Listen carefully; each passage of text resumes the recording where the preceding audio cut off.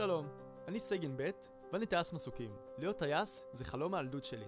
אני זוכר שבערך בגיל 10 ראיתי מטוס בשמיים ועיניי נדלקו. התחלתי להתעניין בכל מה שקשור למטוסים.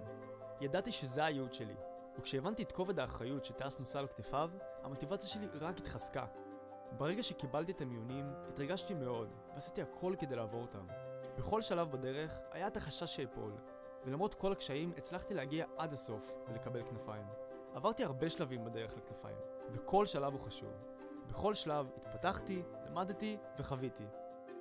במסדר הכנפיים הקרוב, לאחר שלוש שנים, אקבל את הסיכה המיוחלת, אהפוך רשמית לטייס מסוקים, ואגשים את החלום שלי.